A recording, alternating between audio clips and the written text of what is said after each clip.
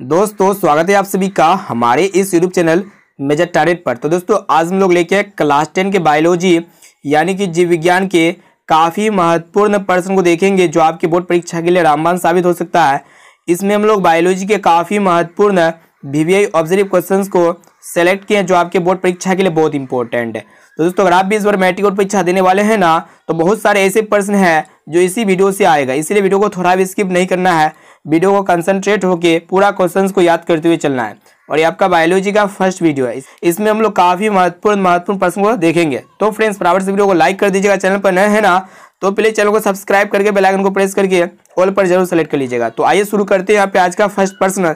देखिएगा, ध्यानपूर्वक क्या कराए कि प्रकाश संश्लेषण एक है। तो दोस्तों ऑप्शन ए में आपका दिया हुआ है परवलिक प्रक्रिया या फिर फोटोकेमिकल प्रक्रिया ऑप्शन सी है, उभयचर प्रक्रिया ऑप्शन डी में आपका दिया हुआ है कैटाबोलिक प्रक्रिया। तो दोस्तों, ये प्रकाश संश्लेषण एक फोटोकेमिकल प्रक्रिया है। यहाँ पे हमारा ऑप्शन नंबर बी जो है ना, बिल्कुल से उतर हो जाएगा। अब चलिए दोस्तों, देखते हैं यहाँ पे अगला प्रश्न। तो देखिए यहाँ पे दो नंबर प्रश्न बहुत ही महत्वपूर्ण क्या करा है कि पत्ती की सतह पर मौजूद छोटे छिद्र को कहा जाता है। तो दोस्तों, पत्ती की सतह पर मौजूद छोटे छिद्र को स्टोमाटा कहा जाता है या फिर रंध्र कहा जाता है। यहाँ पे हमारा ऑप्शन नंबर ए जो है ना, बिल्कुल से उत्तर हो जाएगा। ये भी प्रश्न बहुत ही इंपॉर्टेंट एक एक क्वेश्चन को अच्छी तरह से याद कर लेना है, एक भी क्वेश्चन को स्किप नहीं करना है। अब आइए फ्रेंड्स देखते हैं यहाँ पे तीन नंबर प्रश्न भी बहुत ही महत्वपूर्ण है। क्या करा है कि प्रकाश संश्लेषण में क्लोरोफिल का उपयोग किया जाता है। तो दोस्तों, प्रकाश संश्लेषण में क्लोरोफिल का जो उपयोग किया जाता है ना, प्रकाश को अवशोषित करना। ऑप्शन बी में दिया हुआ है पानी के अणु में तोड़ना या फिर ऑप्शन सी, ऑक्सीजन को अवशोषित करना और ऑप्शन डी में आपका दिया हुआ इनमें से कोई नहीं। तो दोस्तों, प्रकाश संश्लेषण में क्लोरोफिल का उपयोग जो किया जाता है ना, प्रकाश को अवशोषित करना, करने के लिए किया जाता है। यानी कि यहाँ पे हमारा ऑप्शन नंबर ए जो है ना, बिल्कुल से उत्तर हो जाएगा। अब चलिए फ्रेंड्स, देखते हैं यहाँ पे अगला प्रश्न। तो दोस्तों, अभी तक वीडियो को लाइक नहीं किया ना तो वीडियो को लाइक ज़रूर कर दीजिएगा और चैनल पर नए हैं ना तो प्लीज़ चैनल को सब्सक्राइब करके बेल आइकन को प्रेस करके ऑल पर ज़रूर सेलेक्ट कर लीजिएगा। तो आइए देखते हैं यहाँ पे चार नंबर प्रश्न भी काफ़ी महत्वपूर्ण क्या कराए कि पौधों में कार्बोहाइड्रेट के रूप में जमा होता है। ऑप्शन ए में आपका दिया सरकड़ा या फिर ग्लाइकोजेन और ऑप्शन सी स्टार्च और ऑप्शन डी में आपका दिया माल्टोस तो दोस्तों, पौधों में कार्बोहाइड्रेट के रूप में जो है ना स्टार्च के रूप में जमा होता है। यानी कि यहाँ पे हमारा ऑप्शन नंबर सी जो है ना, बिल्कुल से उत्तर हो जाएगा। अब आइए फ्रेंड्स देखते हैं यहाँ पे पाँच नंबर प्रश्न भी बहुत ही महत्वपूर्ण क्या कराए कि प्रोटीन के संश्लेषण में किस तत्व का उपयोग किया जाता है? काफ़ी महत्वपूर्ण प्रश्न है। तो दोस्तों ऑप्शन ए में आपका दिया हुआ हाइड्रोजन या फिर oxygen option C nitrogen option D में आपका दिया हुआ जल। तो दोस्तों प्रोटीन के संश्लेषण में जो है ना नाइट्रोजन तत्व का उपयोग किया जाता है, इसे आप लोग को याद रखना है। ऑप्शन नंबर सी जो है ना, बिल्कुल से उत्तर हो जाएगा। इसमें हम लोग काफ़ी महत्वपूर्ण महत्वपूर्ण तीस इंपॉर्टेंट ऑब्ज़र्व क्वेश्चन को देखेंगे, जो आपके फाइनल मैट्रिक बोर्ड परीक्षा के लिए बहुत इंपॉर्टेंट है। इसीलिए जो है ना, एक क्वेश्चन को कंसंट्रेट होकर अच्छी तरह से याद करते हुए चलना है। अब चलिए फ्रेंड्स देखते हैं यहाँ पे अगला प्रश्न। तो देखिए यहाँ पे छह नंबर प्रश्न क्या कराए कि पाचन के बाद कौन प्रोटीन में परिवर्तित हो जाते हैं? काफ़ी महत्वपूर्ण प्रश्न है। तो दोस्तों, पाचन के बाद जो है ना एमिनो अम्ल प्रोटीन में परिवर्तित हो जाती है। यहाँ पे हमारा ऑप्शन नंबर सी जो है ना, बिल्कुल से उत्तर हो जाएगा। अब आइए फ्रेंड्स देखते हैं यहाँ पे सात नंबर प्रश्न भी बहुत ही महत्वपूर्ण है। देखिए यहाँ पे सात नंबर प्रश्न क्या कराए कि मानव शरीर में शोषण वर्णक है। ऑप्शन ए में आपका दिया क्लोरोफिल या फिर पानी और option C protein, option D में आपका दिया हुआ है हीमोग्लोबिन। तो दोस्तों, मानव शरीर में शोषण वर्णक जो होता है ना, हीमोग्लोबिन होता है। यानी कि यहाँ पे हमारा ऑप्शन नंबर डी बिल्कुल से उत्तर हो जाएगा। अब चलिए फ्रेंड्स, देखते हैं यहाँ पे अगला प्रश्न काफ़ी महत्वपूर्ण महत्वपूर्ण प्रश्न देख रहे हैं। तो देखिए यहाँ पे क्या करा है कि छिद्रों का खुलना और बंद करना एक कार्य है। तो दोस्तों छिद्रों का खोलना और बंद करना, यह किसका कार्य होता है? ऑप्शन ए में आपका दिया स्टोमाटा का, या फिर क्लोरोफिल का ऑप्शन सी क्लोरोप्लास्ट का ऑप्शन डी में आपका दिया हुआ है रक्षक कोष का। तो दोस्तों, छिद्रों का खुलना और बंद करना यह कार्य जो होता है ना रक्षक कोष का होता है। यहाँ पे हमारा ऑप्शन नंबर डी जो है ना, बिल्कुल से उत्तर हो जाएगा। अब चलिए फ्रेंड्स, देखते हैं यहाँ पे अगला प्रश्न, काफ़ी महत्वपूर्ण महत्वपूर्ण प्रश्न देख रहे हैं।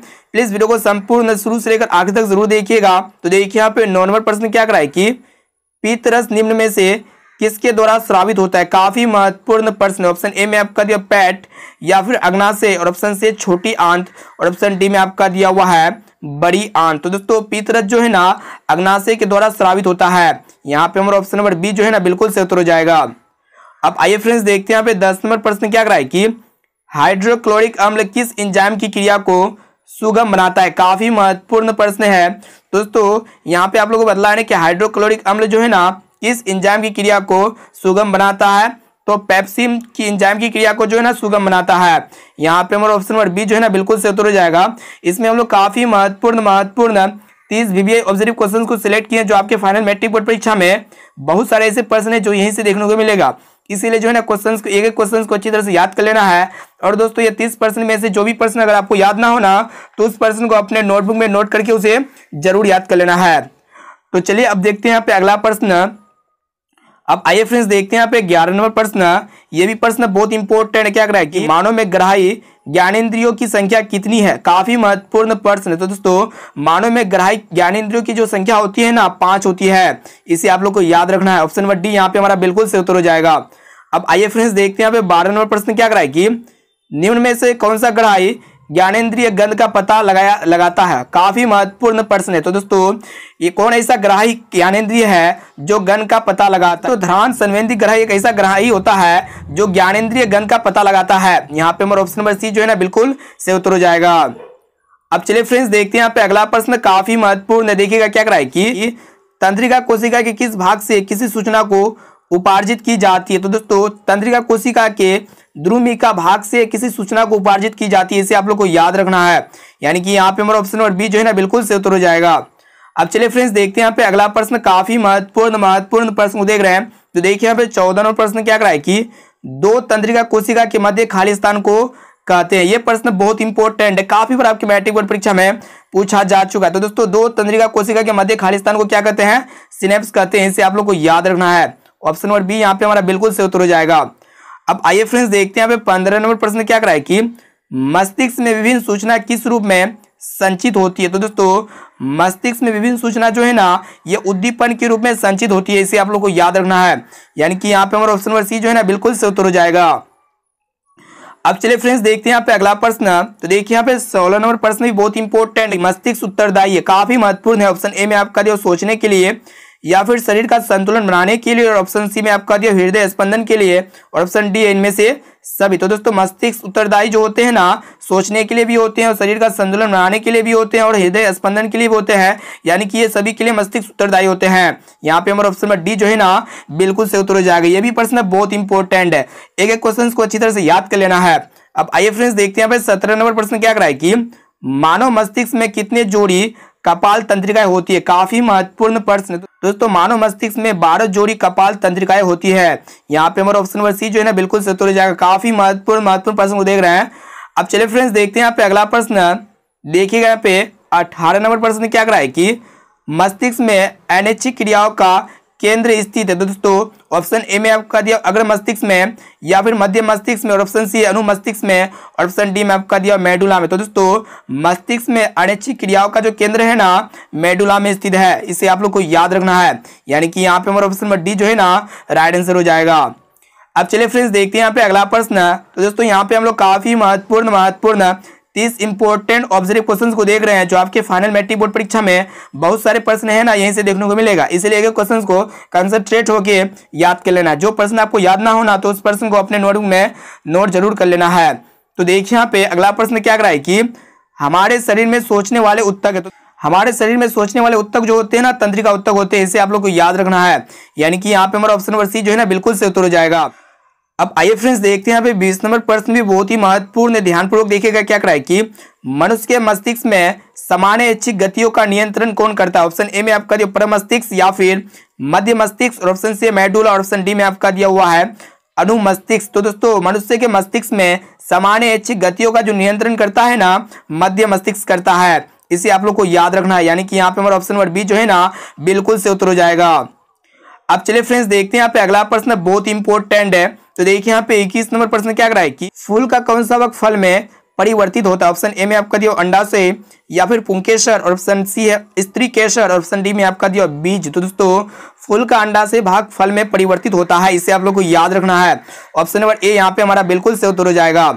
अब आइए फ्रेंड्स देखते हैं यहाँ पे बाईस नंबर प्रश्न क्या कराए कि फूल का नर प्रजनन अंग तो दोस्तों, यहाँ पे ऑप्शन ए में आपका दिया पुंकेसर, या फिर स्त्री केसर ऑप्शन सी है वर्ती काग्र और ऑप्शन डी में आपका दिया हुआ है पंखुड़ी। तो दोस्तों, फूल का जो नर प्रजनन अंग होता है ना पुंकेसर होता है, इसे आप लोग को याद रखना है। यानी कि यहाँ पे हमारा ऑप्शन नंबर ए जो है ना, बिल्कुल से उत्तर हो जाएगा। अब चलिए फ्रेंड्स देखते हैं यहाँ पे अगला प्रश्न। तो देखिए यहाँ पे तेईस नंबर प्रश्न, ये भी प्रश्न बहुत इंपॉर्टेंट देखिएगा क्या कराए कि फूल यानी कि पुष्प का मादा जनन अंग तो दोस्तों, फूल या पुष्प का जो मादा जनन अंग होता है ना, स्त्री कैसर होता है, इसे आप लोग को याद रखना है। यहाँ पे हमारा ऑप्शन नंबर बी जो है ना, बिल्कुल से उत्तर हो जाएगा। और दोस्तों, ये पुंकेसर जो है ना, फूल का नर जनन अंग है, इसे आप लोग को याद रखना है। अब चलिए फ्रेंड्स देखते हैं यहाँ पे अगला प्रश्न, बहुत ही इंपॉर्टेंट इंपॉर्टेंट प्रश्न को देख रहे हैं। प्लीज़ वीडियो को लाइक ज़रूर कर दीजिए और चैनल पर नए हैं ना तो प्लीज़ चैनल को सब्सक्राइब करके बेलाइकन को प्रेस करके ऑल पर ज़रूर सेलेक्ट कर लीजिएगा। तो आइए देखते हैं यहाँ पे, चौबीस नंबर प्रश्न क्या कराए कि फूल का सबसे बाहरी भाग है। तो दोस्तों ऑप्शन ए में आपका दिया वर्तिका या फिर वर्तिकाग्र और ऑप्शन सी में आपका दिया तंतु, और ऑप्शन डी में आपका दिया पंखुड़ी। तो दोस्तों, फूल का जो सबसे बाहरी भाग होता है ना, पंखुड़ी होता है। यहाँ पे हमारा ऑप्शन नंबर डी जो है ना, बिल्कुल से उतर जाएगा। अब आइए फ्रेंड्स देखते हैं पच्चीस नंबर प्रश्न क्या कर रहा है कि पुंकेसर के किस भाग में प्राकण होते, काफ़ी महत्वपूर्ण प्रश्न है। ऑप्शन ए में आपका दिया तंतु, या फिर प्राकोष में, या फिर वर्तिकाग्र में, और ऑप्शन डी में आपका दिया अंडाशय में। तो दोस्तों, पुंकेसर के किस भाग में पराकण होते हैं? तो दोस्तों, ये पुंकेसर के पराकोष में जो है ना पराकण होते हैं। यानी कि यहाँ पे हमारा ऑप्शन नंबर बी जो है ना, बिल्कुल से उत्तर हो जाएगा। ये प्रश्न बहुत इंपॉर्टेंट है। काफ़ी बार आपके मैट्रिक बोर्ड परीक्षा में पूछा जा चुका है। अब चलिए फ्रेंड्स देखते हैं यहाँ पे अगला प्रश्न। तो देखिए यहाँ पे छब्बीस नंबर प्रश्न क्या कराए कि स्त्री केसर का कौन सा भाग? पुष्पासन पर अवस्थित रहता है। काफ़ी महत्वपूर्ण प्रश्न है तो दोस्तों स्त्री केसर का अंडा से भाग जो है ना, पुष्पासन पर अवस्थित रहता है। यहाँ पे हमारा ऑप्शन नंबर सी जो है ना, बिल्कुल से हो जाएगा। अब आइए फ्रेंड्स देखते हैं सत्ताईस नंबर प्रश्न भी बहुत इंपॉर्टेंट है। काफ़ी बार आपके मैट्रिक बोर्ड परीक्षा में ये प्रश्न पूछा जा चुका है। इसलिए क्वेश्चन को कंसंट्रेट होकर याद कर लेना है। और दोस्तों, ये तीस प्रश्न में से जो भी प्रश्न अगर आपको याद ना होना तो उस प्रश्न को अपने नोटबुक में नोट करके उसे ज़रूर याद कर लेना है। देखिए यहाँ पे क्या कराए कि निम्न में से कौन एक लिंगी पुष्प है? तो दोस्तों ऑप्शन ए में आपका दिया तरबूज। तो दोस्तों, ये तरबूज जो है ना, एक लिंगी पुष्प के उदाहरण है, इसे आप लोग को याद रखना है। यानी कि यहाँ पे हमारा ऑप्शन नंबर ए जो है ना, बिल्कुल से उतर जाएगा। अब चलिए फ्रेंड्स देखते हैं यहाँ पे अगला प्रश्न। तो देखिए यहाँ पे अट्ठाईस नंबर प्रश्न क्या कराए कि निम्न में से कौन उभयलिंगी पुष्प? है तो दोस्तों उभयलिंगी पुष्प उसको कहेंगे जिसमें दोनों लिंग पाए जाते हैं। तो उसको हम लोग उभयलिंगी पुष्प कहते हैं। तो यहाँ पे ऑप्शन सी में दिया हुआ सरसों। तो दोस्तों, ये सरसों जो है ना उभयलिंगी पुष्प के उदाहरण है। इनके अलावा सरसों हो गया, मटर हो गया, है ना? उसके बाद आपका गुलाब हो गया, ये सब जो होते हैं ना उभयलिंगी पुष्प के उदाहरण होते हैं। इसे आप लोग को याद रखना है। यहाँ पे हमारा ऑप्शन नंबर सी जो है ना, बिल्कुल से उत्तर हो जाएगा। अब चलिए फ्रेंड्स देखते हैं यहाँ पे उनतीस नंबर प्रश्न क्या कराए कि पराग कोष में पाया जाता है। बहुत इंपॉर्टेंट प्रश्न है। और काफ़ी बार आपके मैट्रिक बोर्ड परीक्षा में पूछा जा चुका है। तो दोस्तों, यहाँ पे आप लोग बतलाना है कि पराग कोष में क्या पाए जाते हैं। ऑप्शन ए में आपका दिया अंडा से, या परागकण ऑप्शन सी में दिया तंतु और ऑप्शन डी में आपका दिया हुआ है व्रतिका तो दोस्तों पराग कोष में परागकण पाए जाते हैं। यानी कि यहाँ पे हमारा ऑप्शन नंबर बी जो है ना, बिल्कुल से उतर जाएगा।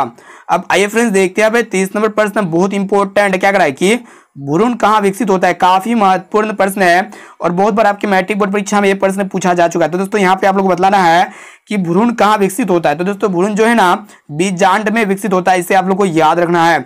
यानी कि यहाँ पे हमारा ऑप्शन नंबर डी जो है ना, बिल्कुल से उत्तर हो जाएगा। तो दोस्तों, इसमें हम लोग काफ़ी महत्वपूर्ण तीस इंपॉर्टेंट ऑब्ज़र्व क्वेश्चंस को देख चुके हैं, जो आपके फाइनल मैट्रिक बोर्ड परीक्षा में बहुत सारे ऐसे प्रश्न है, जो यहीं से देखने को मिलेगा। और ये आपका बायोलॉजी के बीबीए ऑब्ज़र्व क्वेश्चंस का प्रथम वीडियो है, और भी बहुत सारे वीडियो आएगा। दोस्तों, अभी तक वीडियो को लाइक नहीं किया ना, दोस्तों वीडियो को लाइक ज़रूर कर दीजिएगा। और चैनल पर नए है ना तो प्लीज़ चैनल को सब्सक्राइब करके बेलाइकन को प्रेस करके ऑल पर ज़रूर सेलेक्ट कर लीजिएगा।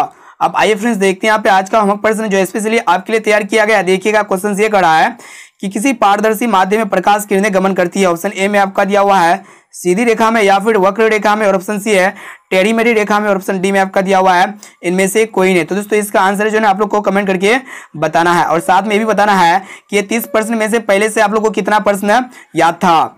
अब आइए फ्रेंड्स देखते हैं आप अभी तो वीडियो को लाइक नहीं किया ना तो वीडियो को लाइक ज़रूर कर दीजिएगा। और चैनल पर नया ना तो प्लीज़ चैनल को सब्सक्राइब करके बेलाइकन को प्रेस करके ऑल पर ज़रूर सेलेक्ट कर लीजिएगा। और इस वीडियो को अपने दोस्तों में एक बार ज़रूर शेयर कीजिए। जितने भी फ्रेंड्स इस बार आपके मैट्रिक और परीक्षा देने वाले हैं, दोस्तों फिर मिलते हैं जल्दी अगले वीडियो पे।